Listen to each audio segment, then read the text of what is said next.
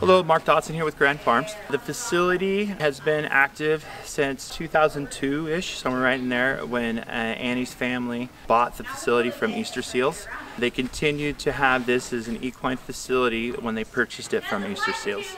And her and her family utilized it and competed and trained horses here well up to current date. She's still doing that right now. So that's been, uh, well shoot, 20, 20 something, 20 years now and we're excited to be growing the facility and expanding it to new environments. Of course, it will always be equine by heart.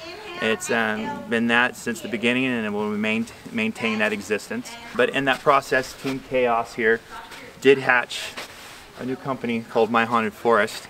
And so it's been quite a change here in the last few years, but as uh, the changes have happened out there in the woods with the spookiness, the changes in the arena have changed too. So now we have a fuller, more active training facility that is actively pushing into uh, future events and coastal travels. And look forward to sharing with you what we have in, in the future. So thank you for joining us.